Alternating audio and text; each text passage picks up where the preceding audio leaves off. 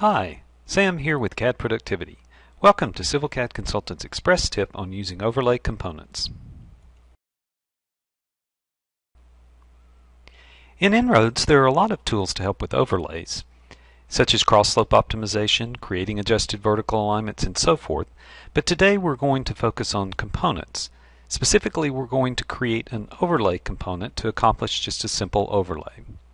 Here, I have in Roadway Designer a base template showing where I want the finished grade to be and the adjusted vertical alignment has already been applied and what I want to do is create an overlay component to fill in the difference between where I want the finished grade to be and where the existing ground currently is. So I'll go to my template. Here's the base template. I'll add a new overlay component. Notice with the overlay component, I have options that aren't available in a normal component, such as the top option and bottom option. Here, I'll tell it where I want the top of the overlay to be, and I want the top of the overlay to follow the component. So it will follow this base component that I've already created. The bottom option, I want to follow the surface, and the surface is the active surface. So I'll simply trace my base component. Notice it appears that the component has no depth to it. However, when I test it, you'll see that it does indeed follow the existing ground or active surface.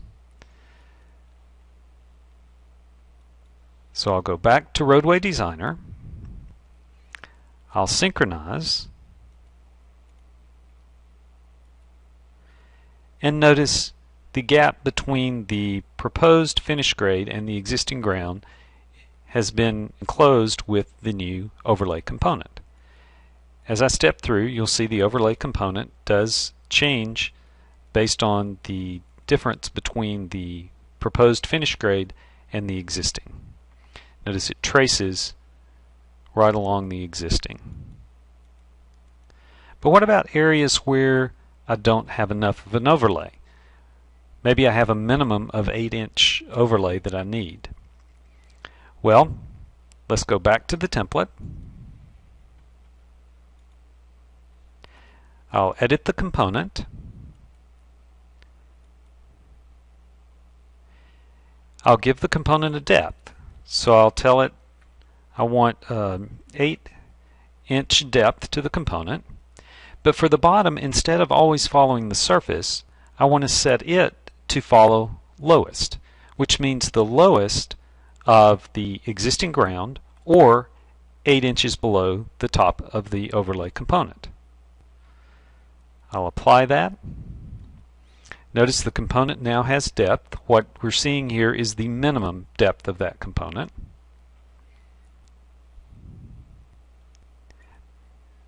Back to Roadway Designer. I'll synchronize.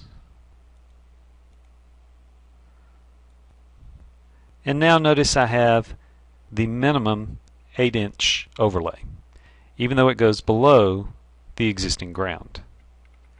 If I go back a few sections, you'll see when it needs to have more of an overlay, it will. So what I've set is basically just a minimum depth of overlay where I'll have to have some milling in some areas, some areas I won't. We'll take a look at leveling and wedging and milling and so forth in future Express tips.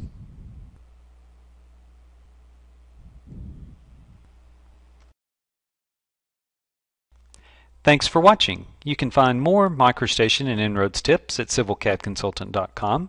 While you're there, sign up for our email list and we'll notify you when we post new tips.